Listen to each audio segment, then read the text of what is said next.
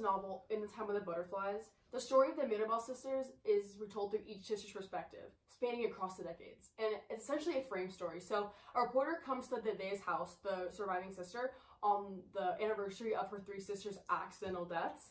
And Dede then talks with the reporter, and the main story jumps back in time to the 1940s.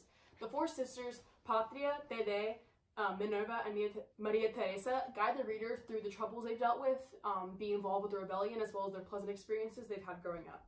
And we learn of Minerva's time in boarding school where she meets a girl named Sinita, and this girl tells Minerva all the tea about the Trujillo dictatorship and all the shady stuff that goes on in the government. And this basically is like the catalyst for Minerva's involvement in the rebellion, and this basically gets her family involved in this whole uprising. And as the story unfolds, we learn more about how the other sisters get involved and how the dictatorship impacts their lives and in the end terminates them. For this novel, the application of the gender criticism works best. The very existence of the sisters, codename Mariposa, in the rebellion shows the contrast between their peaceful, docile mascots and their active role in the political sphere. As women in a male-dominated society, the sisters' involvement in the attempted overthrow of the dictatorship is a game changer. In regards to the specific individual sisters, Patria, the eldest sister, takes on a priestly role in the family and her community. This power, however, is denied to her in the church which she loves so dearly because of her gender. Minerva is the first to involve herself in the rebellion and takes it upon herself to educate herself in the dangers of the Trujillo regime. Her participation in the underground uprising, as well as her attempted career in law, is contradictory of the standards placed upon her by the patriarchy.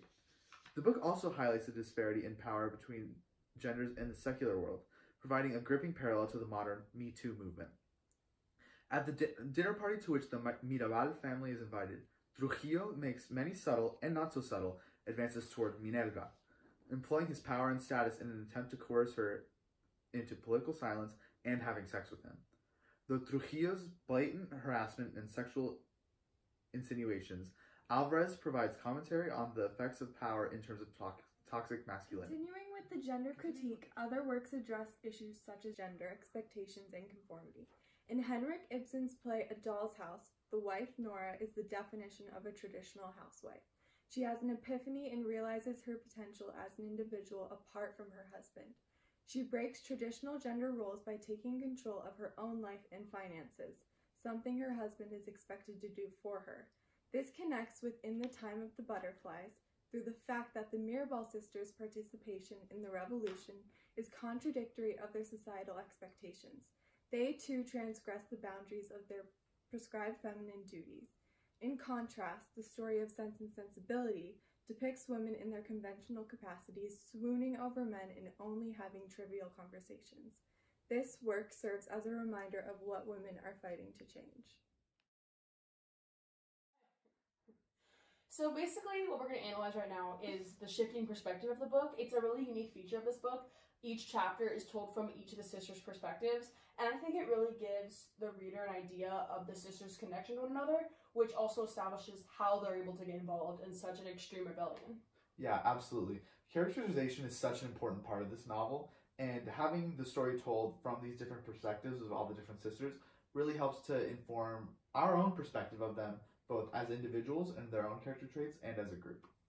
Julia, what do you think about the use of Maria Teresa's like letter writing style in the book? I think it's really effective, especially since it's from her diary, which makes it seem a lot more personal. And it's really like a different perspective into her own thoughts.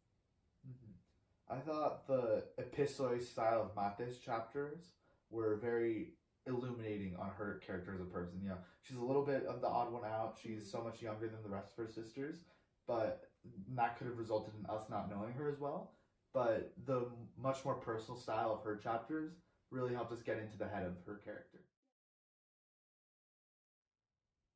So, lastly, we're going to talk about kind of our review, our kind of little, you know, Yelp review of this book. It definitely appeals to teenagers um, because of the use of like the girls in the story. I think you definitely can relate to teenage girls more than teenage guys, but I think teenage guys obviously could still be interested in it. I think it teaches a really good lesson about femininity and standing up for what you believe in.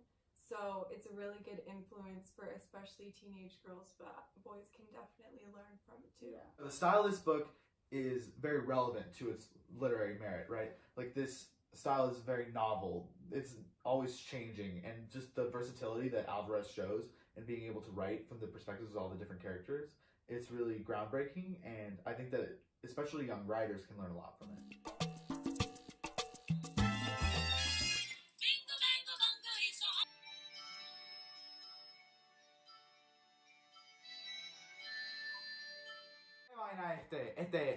Stocknot, este Stocknot, ¿qué? ¿Qué, ¿qué es esa vaina?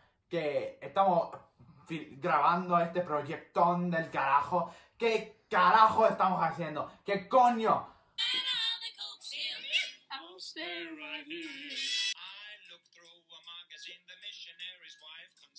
Magazine? What happens? Until they see daddies! Me dije que me calme. Yo estoy bien manso. Bien manso, nena. Quiere que me calme, pero estoy manso.